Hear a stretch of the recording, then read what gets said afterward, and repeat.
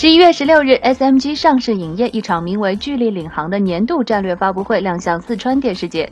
当天，上市影业一口气发布了六个题材各异的大项目：八百合领衔主演的《长大》、怀旧青春剧《女人的旗》和电视剧版《致我们终将逝去的青春》等六部全新力作，一一和观众们见面，惊艳全场。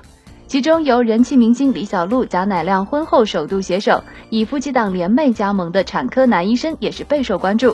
当天，贾乃亮也是特地从片场匆匆赶来。虽然是扮演一位妇产科男医生，但是生活中当奶爸的经验让贾乃亮演起戏来也是得心应手。我们甚至都可以当做顾问了。拍戏的时候呢，有这个这个剖腹产的时候呢，我在旁边我都知道产前。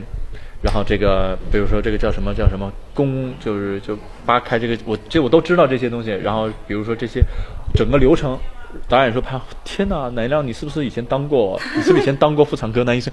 因为我特别有这个感触啊。然后小鹿呢也当做顾问啊，这这是这里不对，这里不对。然后孕孕妊娠期应该注意些什么什么什么。然后呢，我们的知识量还是蛮大的。人气实力兼具的王珞丹和雷佳音，则在于纯导演的率领下，在《爱情碟中谍》中上演一出八零后小夫妻的恋爱乌龙记。这也是雷佳音与王珞丹的第二次合作。雷佳音爆料称，在戏中即将大谈恋爱的两个人，私下却完全没交集，没联络过。我还不知道人家记不记住我，还不知道呢。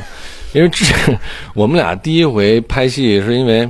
《杜拉拉升职记》嘛，她是女一号，我是一个三十场戏的一个小演员那时候。然后我第一回见她的时候，我们俩在电梯里，她在我旁边，我说：“姐你好。”她说：“你管谁叫姐呢？你大爷。”她说：“以后你就是我大爷了。”我才知道她比我小，嗯，那其实比我小一岁。然后我们俩也是微博关注了好多年了。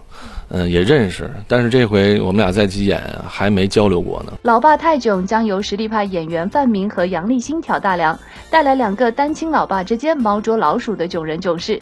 脱下明星的光环，回归生活，范明坦言自己就是个普通家长。我在家里我很普，就是个普通家长，而且我认为比较给我自己最大的，就不停的警示我自己，就是平民心态，别把自己太当回事。